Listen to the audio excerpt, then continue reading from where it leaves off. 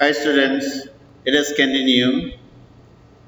One day, these courtiers told him that he was so powerful that even the air and the water would obey his orders. The courtiers, the courtiers in his palace went beyond all the limits of praising the king. He told him that even the air and water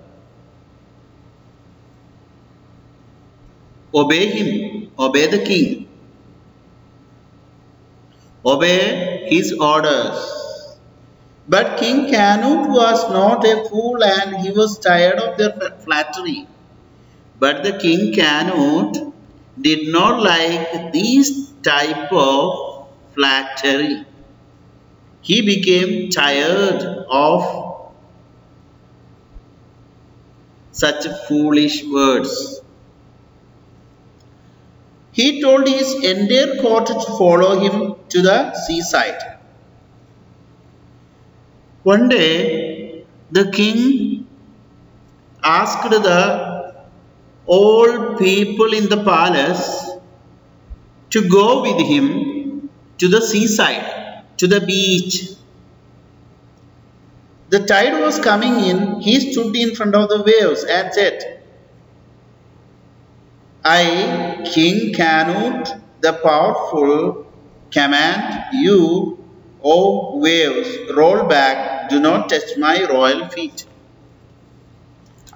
After taking the whole people in his palace to the beach, to the seaside, and he stood beyond the waves uh, in the free on the beach and asked to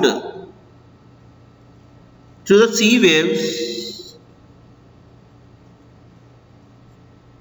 I am the king Canute. I am a most powerful, I am the most powerful king on the earth. So waves, you have to go back. Don't come here. You should not touch my royal feet.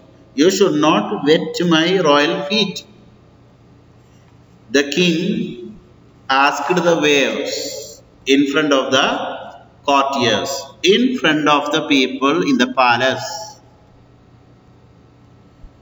Of course, the sea did not listen to him.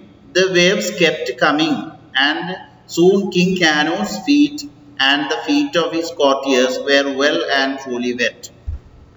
Now what happened?